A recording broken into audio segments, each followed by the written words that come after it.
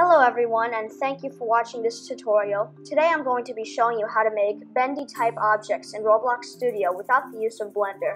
Some of you might know that a few days ago I made a tutorial on how to make bendy objects in Roblox Studio using Blender, but the thing is, a lot of you don't know how to use Blender. In fact, I didn't know how to use it well until just a couple of weeks ago, so I'm going to make a tutorial on how you can create a bending object type illusion inside of Roblox Studio without Blender. All you are going to need to do this is an R6 rig and the Rig Edit plugin, which you can get in the toolbox by going to plugins and searching up Rig Edit. You can also get an R6 rig by either using the character creating plugin or you can just go to the toolbox and search it up. You can make really anything with this, but I'm just going to make a simple cape.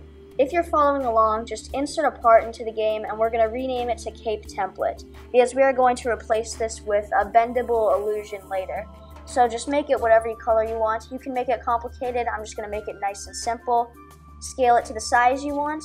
And then once you're done with that, you're going to move it to where you want it to be on the rig.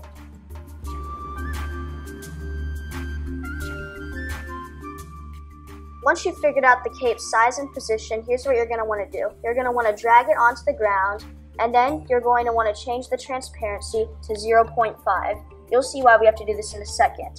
Then you're going to select it and you're going to duplicate it and you're going to scale its duplicate down to a smaller size just like this.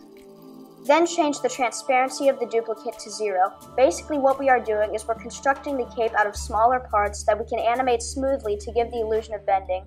So just keep duplicating and moving the smaller parts until you fill up the shape of the cape.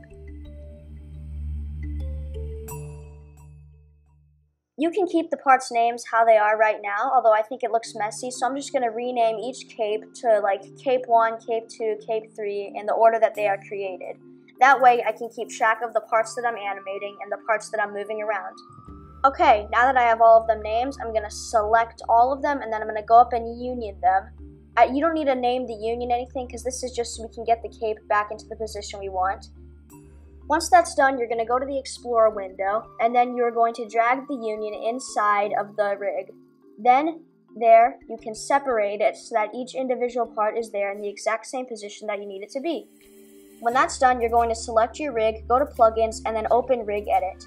There you will see a skeleton-like structure inside of the rig, which is all the welds and joints inside of him that like keeps him together and allows his arms and limbs to bend and be animated.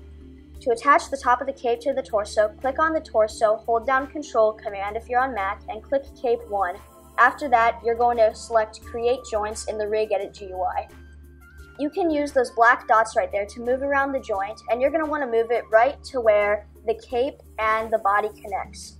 Oh, first you're to want to change the steps to zero so that I can move smoothly, and then put it right there, right where the top of the cape and the torso connect to each other.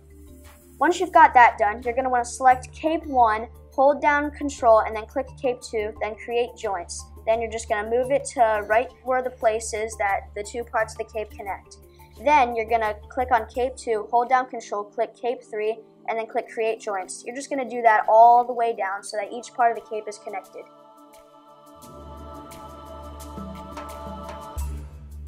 Are finally done building the cape and rigging it. Now you can close Rig Edit Lite, go back to the plugins window and select the animation plugin.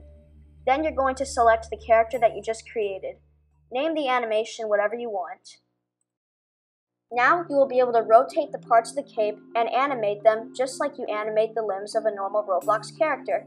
And as you can see, if you do it smoothly and do it little by little throughout the cape, it looks like it's actually bending just like it would if you made it in Blender. This is the technique that I use to animate the cape of a character NPC that I'm going to use in my upcoming TDS game that I'm working with a couple other developers on. It is a lot of work, but when it's all done, it's really worth it, and it can help you give cool illusions of bending without having all the trouble of making it in Blender. I'm going to see if I can make a cool animation out of this real quick. Well, oh no, that that's bad. That's that's really bad. I'm definitely far from the best animator out there, but that's the cool part. You can really animate it any way you want because it's your character now. I hope you enjoyed and I hope this video helps. Goodbye!